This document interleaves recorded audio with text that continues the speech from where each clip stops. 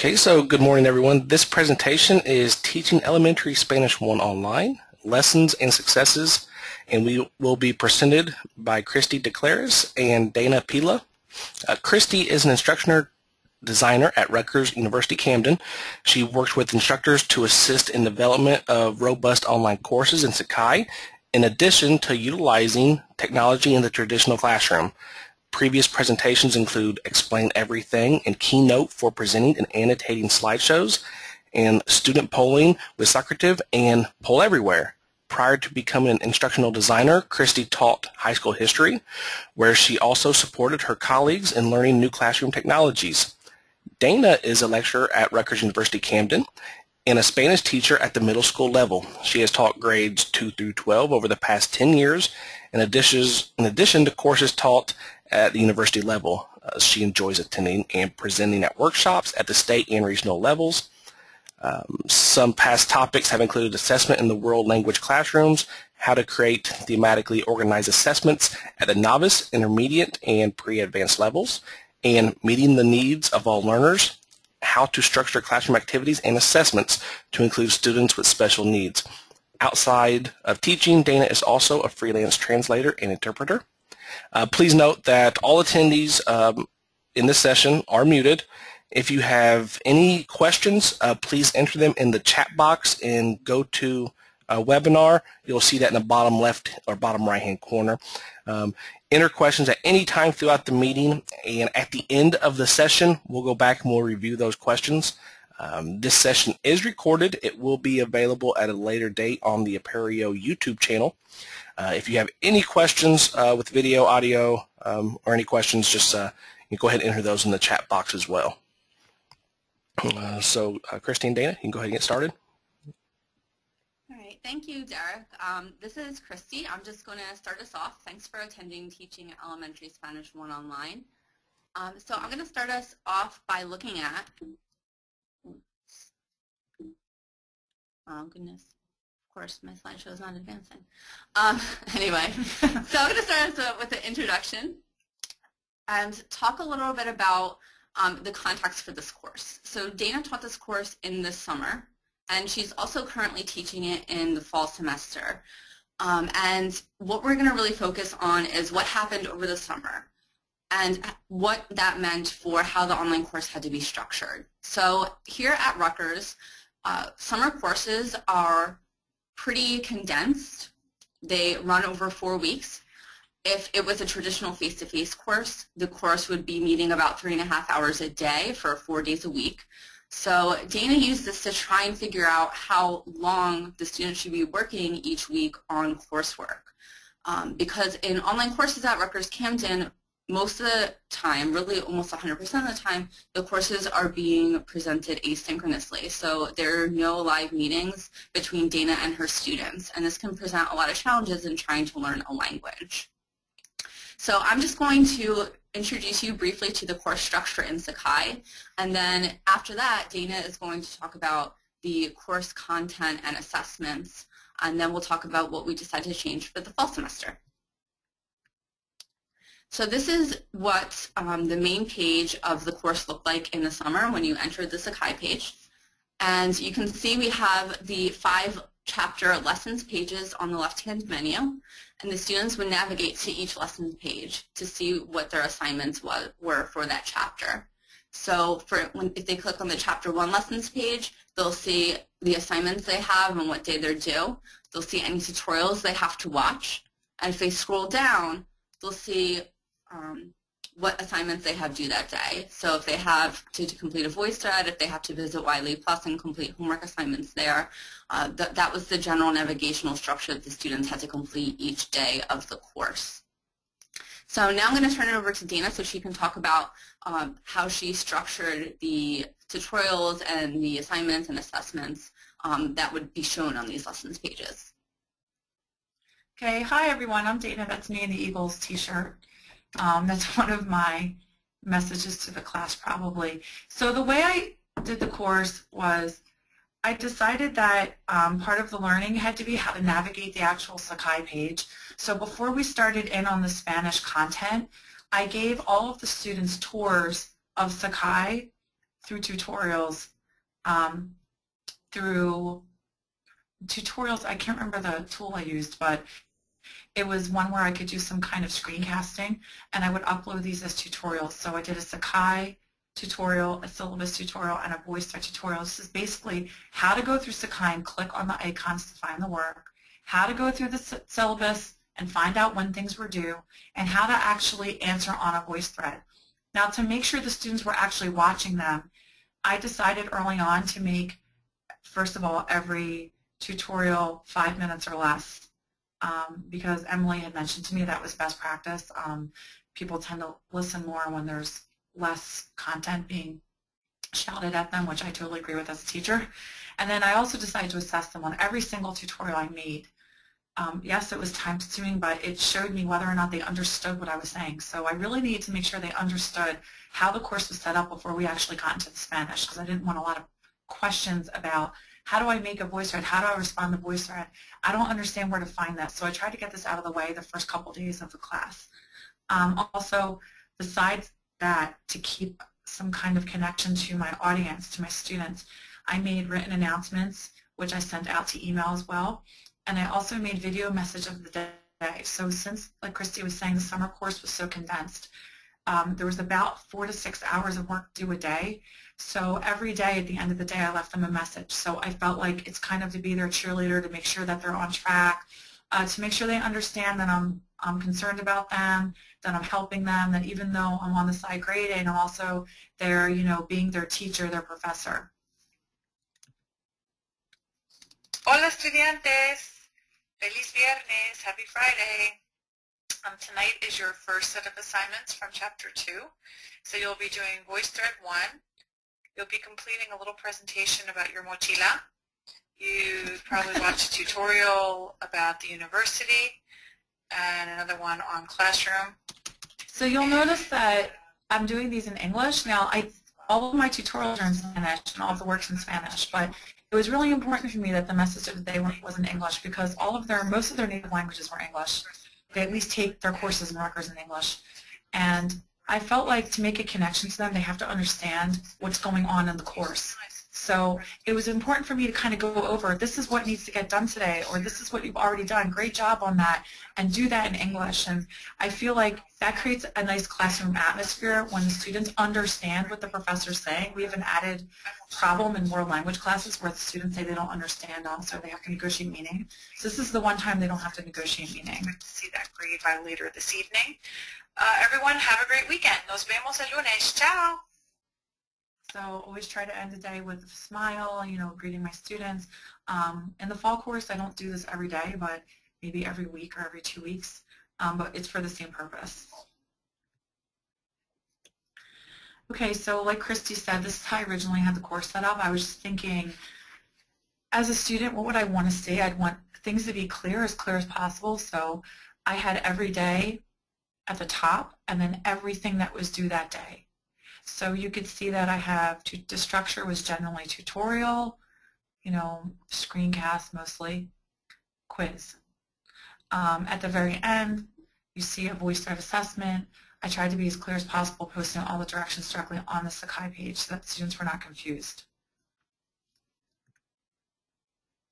I liked um, the most, I really liked how there's varied types of assessments you can make on Sakai. So when I was making my assessments, I tried to really vary up each question.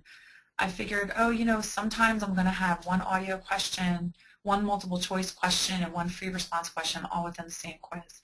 So as you can see over here, um, the students had to pick the right answer, que hora es, and this person got it right, son las ocho y media. And I always give feedback for students. Um, normally you'd see the name here, but I took all that off for privacy reasons, but I try to always address them by name when I leave a comment for them, and I always tell them good job, great job, or if they got it wrong, oh, this is why I think you have it wrong. You'll also notice that I really, really enjoyed using the feedback feature and the answer key feature because I like that students can get the immediate feedback. Uh, to control for any kind of cheating, I had all the feedback released the morning after the quiz was due. So if these quizzes were due 11.45 at night, I had the feedback released at, let's say, 8 in the morning. This is to account for any tech issues someone might have been having. Like, for instance, if someone couldn't get on and press submit by accident, they can email me and I can open it back up for them without any other students having seen the feedback because uh, you have to control to make sure that no one's sharing answers. So I love that feedback feature and then also I would also give them additional feedback other than the feedback that I left on Sakai. Um, I also gave them presentations for every single unit. Now, I decided not to give traditional exams, traditional midterms and finals and exams. The reason being that you have to assume with an online course they can always have their book open in front of them. They could always have other resources open and you really can't control for that. The only way to control for that is by giving them assessments where they really cannot cheat by looking things up. So every time I made an assessment I thought, okay, how can I make this so that they could show me their learning even if they have the book in front of them? So you have to give them things that, that and force them to do more critical thinking. Um, and also I give them things that let them talk about their own lives. This kind of lets them, first of all, me get to know them in Spanish, but also it makes me have quality control. Like every student has a different presentation because they're all talking about their lives. This one was about their families. Um, as you can see, keep it as detailed as possible um, so that they understand exactly what they have to do. I give all the directions in English. Um, and this one, I let them use anything they wanted to make it. I said they can make a video, they can use a Prezi, they can use Animoto, they can upload this to Vimeo. So I show them there's all different ways to make a presentation. We don't need to have, you know, 28 PowerPoints. Um, so a lot of students did experiment with these technologies, mostly because they're free. And because a lot of the students really enjoy doing stuff that's different and they, they like to look for things that are different. So I only had maybe in a class of 28, two students that made a PowerPoint. Most of them used Prezi or Animoto that they really enjoyed, especially with the voiceover options. Um, so this is just an example of a type of final assessment for a chapter. So rather than a test, you're seeing this. And I really enjoyed getting to know the students this way. And I think from what they've told me, they enjoy getting to share this information with me because when do you get to ever share this kind of information with a professor at college? Sarah. Sarah es mi hermanastra. Sarah. So here we have a student talking about his family in Spanish, and he's talking about his his sister. Um, he's describing his sister. So he's using information from the chapter, but he's applying it in a different situation. So he's showing me that, you know, with a picture, he can describe someone, and I can see whether he's describing them properly. He can talk about, he can, he can show me his use of gender, let's say in Spanish, by changing the end of the adjective, etc. So these are just ways for me to check for comprehension um, and to see if the students are learning. Oh, I love the audio quiz option. Love it. So this is one of my favorite ones because I like to assess their speaking um, formally. And I like to see, like, can they actually say this in Spanish? I like to see how long they're taking. And I like how on Sakai, once it's submitted, you can see, wow, a student took 40 minutes to tell me five different times. Well, this means they're looking up everything in their book or on the internet. This means they don't really know it oh, this other student only took three minutes. This means the student really had a grasp of this before they went on to the audio quiz. So what do I do in that case? Well, I don't ever accuse students of cheating, you know. But if a student took 60 minutes, I might say, I, I noticed that you had a lot of difficulty with this because you took so long to, you know, really understand and you were looking up the answers. What can I do to support you to help have this easier? Next time. So I definitely still accepted all the assignments, and but I let the students know in a way that I'm watching over them and I know how long they're taking on each assignment. So I really like this feature in Sakai, and I like the fact that if you want to, you could give the student two chances to answer it um, and to pick their best answer. We have an audio on this one. Yeah, we do, and it was. It's also nice because you can choose the time limit for how long you want the students to have to record their response as well. And, and I think I, I'm pretty sure I did mm -hmm. that. yeah. So yeah, here's the student example for this answer. Es la una y diez de la tarde. This should be a mistake there, but that's fine. Son las cinco de la noche. You'll see I wrote down 20 is 20. Son las ocho y media de la mañana. Es medianoche. Okay, so I did some scaffolding. You'll see, like, so just instead of just letting them, you know, do it on their own, I put son las or esa. I gave them kind of like the grammatical grammatical structure so that they can have more confidence doing it. And I definitely wrote her name in the comments. I just edited it out for this. And I said, you know, great job. Um, I forget what I said sorry for. I think something maybe didn't work one time and she had to, I had to re-release it. But, and I put their feedback right there so they know what they did wrong. And I try to give this back as, as soon as possible. Immediate feedback is really important um, for students. So it might not be, you might not, might not be able to give it back, the feedback in one day, but you should do it for some of this in a couple days. Otherwise, it doesn't have as much of a purpose. Um, students tend to apply feedback when they get it sooner rather than later. Another example of a written assignment that wouldn't be um, your traditional quiz is we did this whole idea of what's on our university campus. And um, I pulled up, you know, the Rutgers PDF from the Rutgers website of our Camden campus. And I said, why don't you label the campus in Spanish? And I let them pick, pick 15 different buildings or classes. So giving them choice, so you know every student can have a different map. They could decide what they put on it. They could definitely use their resources to hand this in.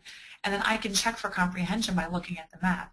Now this student was a little bit techy, as you can say, because you could see he put the actual answers right on the map. He actually edited the PDF. Other students simply just made their own maps, maybe did a Microsoft Word document, uploaded that to Sakai. Other students wrote it directly into the, the, the feature where you can write directly on Sakai. Um, I, I, understand just because a student takes an online class doesn't mean they're techie. You know, sometimes they take it for convenience. So I give them different options in terms of submitting because I don't want anyone to feel like the technology is getting away in, in the way of learning.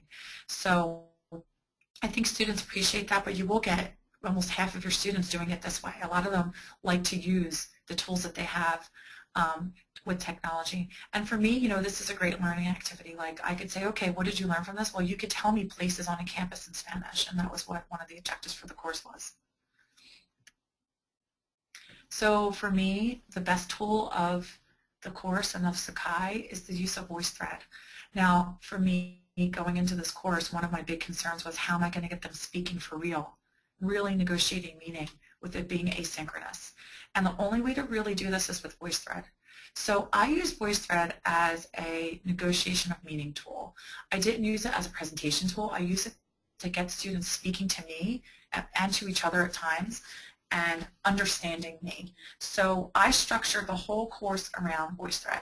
VoiceThread is what you would traditionally call in class participation. I've never been a big believer in grading participation how are you supposed to grade participation, right? But the way I did it on VoiceThread was if you participated in every single VoiceThread on every slide, you received 25 out of 25 points for doing it. Whether or not what you said was correct, whether or not the grammar was correct, it didn't matter to me. I wanted to hear you speaking. Now, I still gave feedback as if it were a real assessment because it is a real assessment. It's just not an assessment based on right and wrong. By doing it this way, the students were, had no fear. So they can go on there knowing even if they made a mistake, they could still get full credit. And the other thing is I let them look at each other's comments because we do that in class. You know, your weakest student, you don't call on first, you call on after you've called on 10 others so they can hear their, their um, The broadcast is now starting. All attendees are in listen-only mode. Oh, what was that? I'm not sure. We're not sure. Sorry about that. Um, so basically, I use VoiceThread to, to really unite the class and to create a classroom atmosphere and to create that kind of warm feeling you have when you're all supporting each other in class. Um, it was mandatory, so if you didn't do it, you got 0 out of 25, but if you did it, you got 25 out of 25. There was no in between. This encouraged everyone to do it because it was an easy A grade, but it also made them learn a lot about the content that was going on. So I'm going to give you some examples of VoiceThread did I miss something here? Community building? Uh, no, we have a, I, uh, we just have an example of the Okay. icebreaker of VoiceThread on this slide. So the first VoiceThread, correct, that the students had to do in the semester? Yes, exactly. Hi everyone, my name is I am a senior in the social work program coming this month. Um, I'm taking this course to basically learn um, the proper way to speak Spanish. I am Puerto Rican and South Irish, uh, where many of my family members don't speak, and um, utilize this class to um, perfect the language. And Hi. Yeah, really nice to meet you. I think you're the first person in the group that's actually a social worker or going to be a social worker. So I tried to college the students feedback on their icebreaker. So this Um, one student told me she was a social worker. The third student or third student to tell me they have children, so You know, and I tried to make a personal connection right away. So this was assignment number one. in English again because you want to create this warm classroom atmosphere. And I gave every single student personalized feedback on this with my video voice thread. Now this student did do a video voice thread, we didn't show it, but she did a video voice thread and then I gave a video comment back to her because I wanted it to feel like a conversation. So it was my immediate way to connect with her um, and her way to feel like she's being heard and she understands that I know what her needs are in terms of learning for the course. And I just want to clarify before we look at some more VoiceThread examples that um, at Rutgers we have an LTI integration of VoiceThread and Sakai. So VoiceThread shows up as a tool in the left-hand menu and the students don't have to navigate to another website to complete their VoiceThreads. They can access it right in the course. Okay, so here's another example of one of the voice threads I gave. Hola, yo soy tu profesora Rina y tengo algunas preguntas. ¿Cómo te llamas? ¿De dónde eres? Yo soy Dina y yo soy de Cherry Hill. So I modeled a question and an answer. Yo soy, yo soy de Cherry Hill. And we had the students answering. You could see um, Christy um, doctored up a nice little clip art image of each student to protect their privacy. I thought that was hysterical. So you could see now these voice threads are all going to be in Spanish. So when I went into the course content, um, you know, I teach my class, I would say all the content 100% in Spanish, um, which is, you know, obviously you have to do a lot of workarounds when it's an intro class, but it's possible. So I didn't want to change that for the online course. I think a lot of downfalls of Spanish online courses is too much is taught in English. It doesn't need to be. It's just that the students need to have comprehensible input. They have to understand what's going on.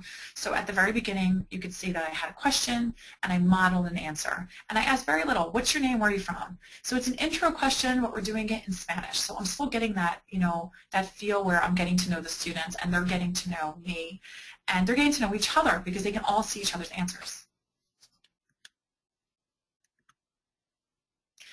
Um, another thing I did was to just so they understand what they're doing is I did a screenshot of each chapter page from the online book and I put that as the first page of the um, voice thread in addition to having the objectives pop up, which I think Christy has on the next slide.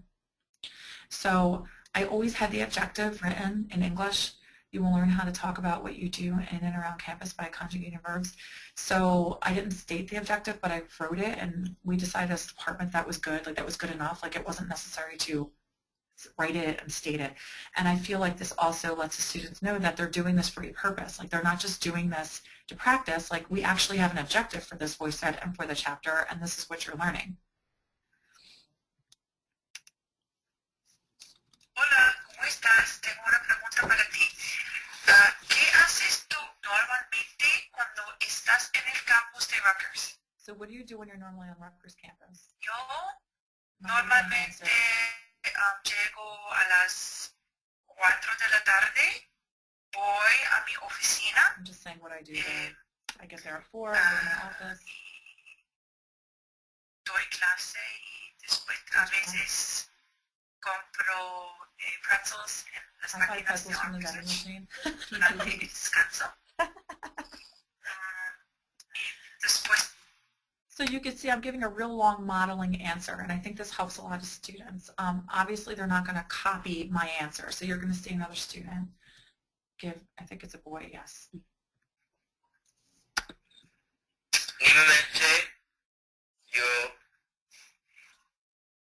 bebo café. So now he's telling me he drinks Yo coffee. voy a la clase. I go to I go to my house Yo or class. estudiando Sort of tried to say I studied and say, right, that's okay. con mis amigos. Studies with his friends. Finalmente voy a la casa. So you could see that he took my structure and he restated it in his own words. So this is what I'm encouraging students to do by experimenting on VoiceThread.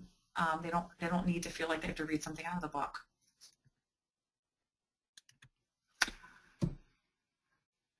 yo llego a mi clase en la mañana antes de mi clases, yo leo mi So libro I en don't la know how much you know biblioteca. Spanish, but you can hear that mis similar yo structure, como en la completely different cafeteria content. So the students can listen to each other and kind of be like, okay, that's all that's expected of me. Like I can do that. I can do that in. I don't have to be afraid. And I can get out there and try it out. The next one. Um, now I just wanted to show you progression. So now we're on chapter five. So you know that was chapter two, I think. Now we're four weeks into the course. This is the last week of the course. Hola. Tengo una pregunta. ¿Qué te gusta hacer en tu tiempo libre? So now I ask an open-ended question. So by the end of the course, I was doing less modeling, um, which is what you would do in class. Like you want to see can students really answer on their own. They don't need as much modeling. They don't need as much scaffolding by the end. And then I think we have a student for this. En mi tiempo me gusta escribir poesía. Okay, so she shared she liked to write poetry. Um, so students, um, they can do it. You know, they. I think if you create the course where they don't have to have fear, where they feel supported, you can start giving more and more things towards the end of it where they're not afraid to just, you know, give of themselves and like really talk about themselves. Like in Spanish, we're, we're lucky we can do that. Like I can actually structure a course around their personal interests um, because they're learning a language. Um, and I know you all teach different subjects here, but if you can find a tie-in personally, it really does make a difference to students. And they're- generally do like to share of themselves, even though it's in a semi-public forum. Now this is a great tool with VoiceThread, um, using VoiceThread for collaboration. So I've done this more in the fall than I did in the summer.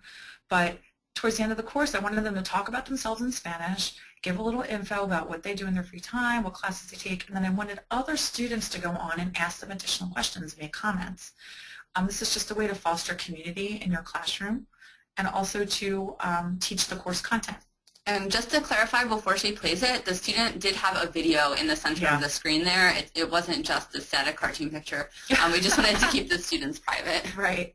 Christy did a lot of fancy editing for this because you, you, you haven't heard one student name, all thanks to Christy.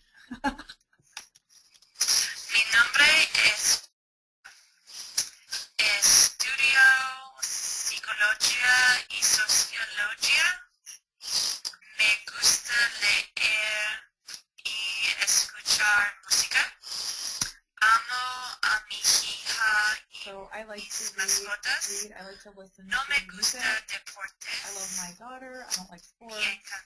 She- She likes to cook. mucho la comida. She likes food. Ah, háblame un poco de tu hija. Tu hija se llama Lely, ¿no? Eh, ¿Qué haces con tu hija o qué te gusta hacer con tu hija? And I said, talk, talk to me a little bit more about your daughter. Like I knew she had a daughter because she said before. Mi amo, yo estudio económica. ¿Qué es tu libro favorito? He wants to know what's your favorite book.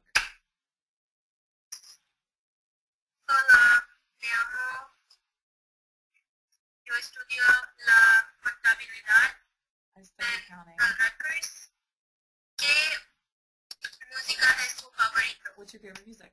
So the students were able to go back and forth a little and share information about themselves and doing it in Spanish. Like I was really happy with this because this is what I would have wanted in class. You know, for them to stay in target language, say something meaningful, share something about their lives. And I feel like VoiceThread allowed me to run this course like I would have in class. So now I'm just going to talk a little bit about um, the changes that we decided to make between the summer course and the fall course as far as the actual design in Sakai went. So what you're looking at now is the summer course, this is a typical lesson page in the summer course that has tutorials all on one page for one chapter and quizzes and assignments. And the students, it's very vertical. The students have to scroll through to see what they have to do for each day. Um, and the issue, the major issue with this is because of the number of tutorials for a chapter, it resulted in a lot of slow load times for students. So the pages would take a really long time to load because of all the embedded videos. Um, and this was a, a big thing that influenced how I decided to redesign the course for the fall semester. And also some students were a little bit confused with due dates. So we wanted to see how we could make that a little bit clearer to them and so they wouldn't have to dig through so much to find out what was due. So this is scrolling through the typical lessons page of the fall course. You'll see the tutorial videos have been removed. There's just weeks, assignments listed, links to assignments, and then subpages. And the subpages, there's a subpage for each week, have the tutorials that the students have to watch for each week. So instead of all chapter tutorials being on one page, they were divided up into which tutorials students had to watch in certain weeks, and this really helps with the load times. So again, you can see here we have a clear delineation with what's due when, and the tutorials have been removed from the chapter pages. And this is what the, the course currently looks like as Dana is teaching it now. And um, finally, Dana's, we're going to be wrapping up, and, and Dana's just going to review the content changes that she decided to make after doing the summer course. Um, so besides Christie's redesign, which helped immensely, um, I had much less student questions about when things were due. Really made a huge difference. I decided to also use the scheduler to add in a course calendar with, with due dates. So it's like I took the syllabus, which, you know, on an online course, the syllabus is a little stagnant. Like it's the students, it's easier for them to see what's due on the calendar rather than go back and forth to that syllabus tab. So I put everything that was due on the calendar. Um, now you know the assign like some of your quizzes and tests go directly onto the calendar, but there were things I manually had to enter, like the VoiceThreads and the Wiley Plus homework, which is our book. Um, also, I added more collaboration. So, like that last VoiceThread slide that you saw where the students collaborated, I tried to do that twice this semester, and I think I'm going to add it three times next semester because I think that works really well with having students work together and get to know each other. And I'm going to implement those changes for Spanish 2. We're going to set Spanish 2 up the same way. So students have already had me, there won't be such a learning curve. And it'll just kind of add continuity to the course. So other than these changes, I think we're going to keep everything else the same. So I gave an, a very informal survey. Um, I should have structured the, the questions maybe possibly a little different, but I just wanted to get feedback from my summer course before I did the fall course so I could make changes. And most of the feedback, I'd say 95% of the feedback was extremely positive, even though it was a lot of work for them. I mean, you know, five hours a day, it was 25 hours a week they were working on Spanish, but they really liked the course. Um, they really liked the VoiceThreads it really helped them understand and the students felt like they were able to speak Spanish fluently, which is amazing. I mean, you know it's not fluent, it's Spanish 1, but they had this idea and a perceptions reality where they're actually speaking Spanish, which is what I wanted. Um, students liked that they could speak it every day in practice and get feedback, whereas in class, you know, I have up to 35 students when I teach in class here, and you can't listen to every student in every class personally. So this was a way for them to actually be heard. Um, students really liked the short tutorials and they liked that I gave personal feedback. Personal feedback was very time consuming, but I really felt as a professor it was essential. The students need to feel like they're heard. They need to feel like what they're doing is for a purpose and they need to get they need to understand their mistakes. So I was glad to hear that they enjoyed the feedback. And students just like the varied outlets for learning. Um, as a professor, I like to give students different ways to learn because everyone has a preferred way to learn. Some students like to read, some students like to hear things, some students like to watch videos. So I played into all this. I really tried to give them a varied experience so that everyone could feel like the course was tailored to them. Um, so do you feel that you have learned the skills, explain the objective session. This is very important for us as a department. Um, the, object the objectives were about maybe 20 different course objectives, and most of them felt like they learned the objectives. And even there was no one that said no. Some students said somewhat, but I think you're always going to get that in any course, whether it's online or in person. Would you recommend this course for friends? And it was overwhelmingly positive, 82%, so I was really happy with that. And that pretty much wraps up our presentation. So um, we have about 10 minutes left in the session, so we can take any questions that you may have. Do you want to put the webcam? Yeah, and we're going to see if we can share a webcam. Let's see. If anybody has any questions, they can uh, post them any questions. If you want, I can uh, unmute you if you wanted to talk.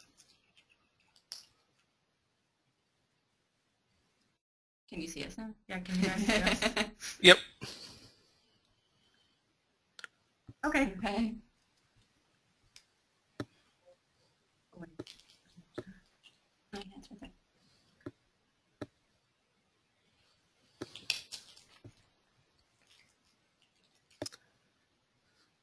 Nine people.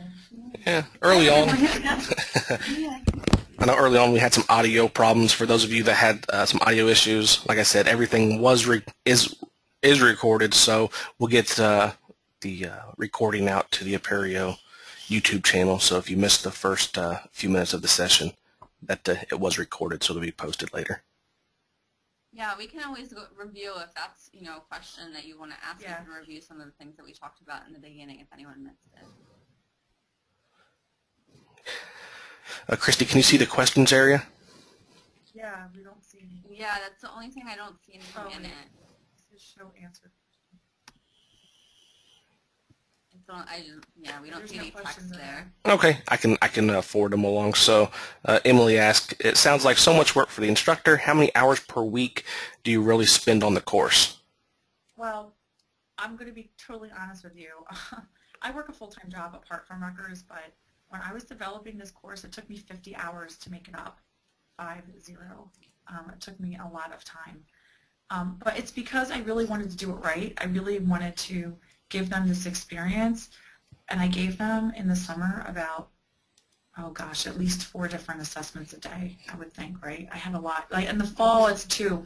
The, the way I split up in the fall is I do um, Monday, Wednesday, Friday due dates, and I have at least two things due every day.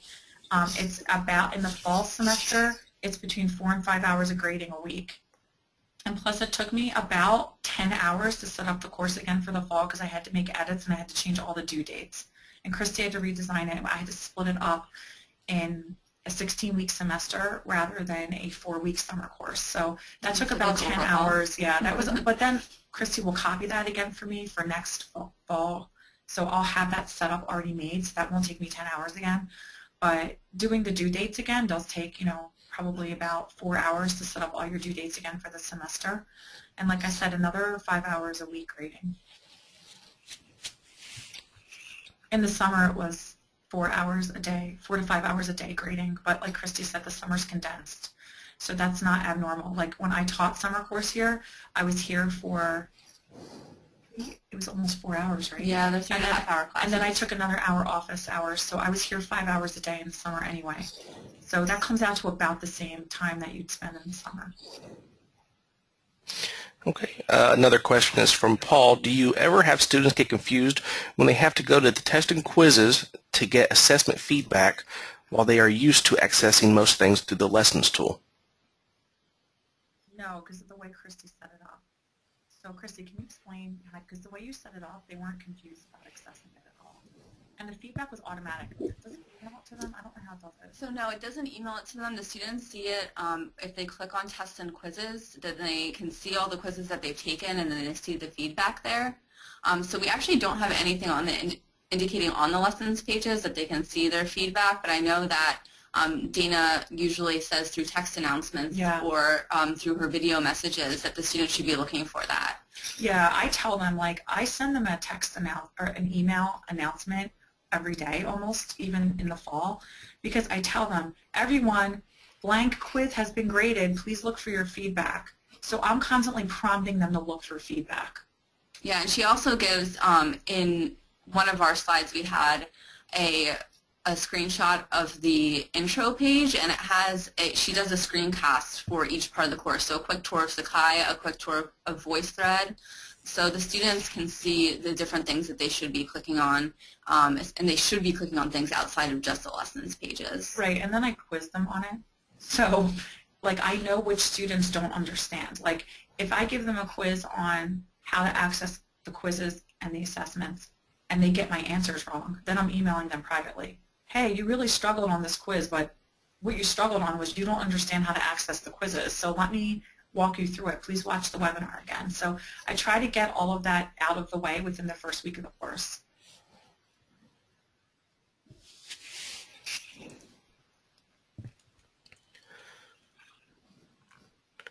Okay. Any other questions?